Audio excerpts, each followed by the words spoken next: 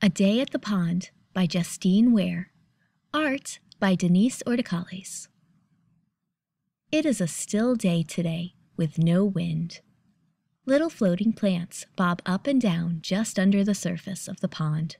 Some are shaped like circles, some like four leaf clovers, and some just look like blobs.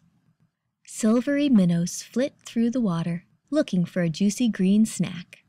One darts close to the surface. Its big black eyes watch the dancing duckweed leaves through streams of sunlight.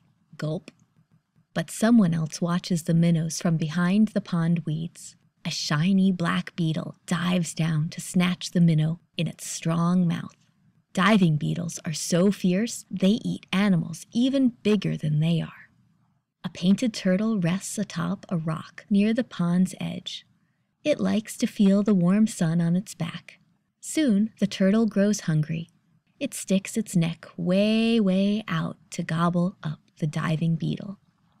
A great blue heron hides in the reeds, looking for something to eat. Suddenly, it lunges forward to stab the painted turtle with its sharp bill. But the turtle has a sturdy shell, and the heron misses. The turtle slides into the water, and the heron hunts for a fish or frog instead.